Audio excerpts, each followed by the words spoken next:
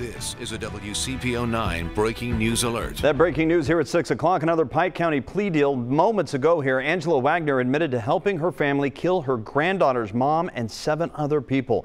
Let's take a live look right now at the courtroom where that plea hearing is wrapping up at this hour. Anchor Evan Millward has followed these cases for years, and he's been in the courtroom all day long listening to all of this. He's getting reaction to the plea deal as well.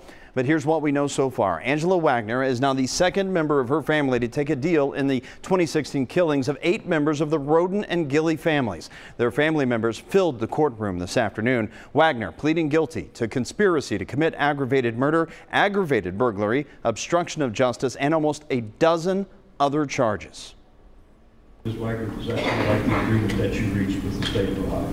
Yes, Your Honor. Now, prosecutors say Wagner forged child custody documents, built a silencer, and surveilled the Rhoden family's homes, their movements, their social media, all of it ahead of the massacre. Angela's son Jake, you may recall, changed his plea to guilty, uh, counts eight counts of aggravated murder in this case back in April. It was custody of his daughter with Hanna Rhoden that prosecutors say was really the motive for these deadly shootings.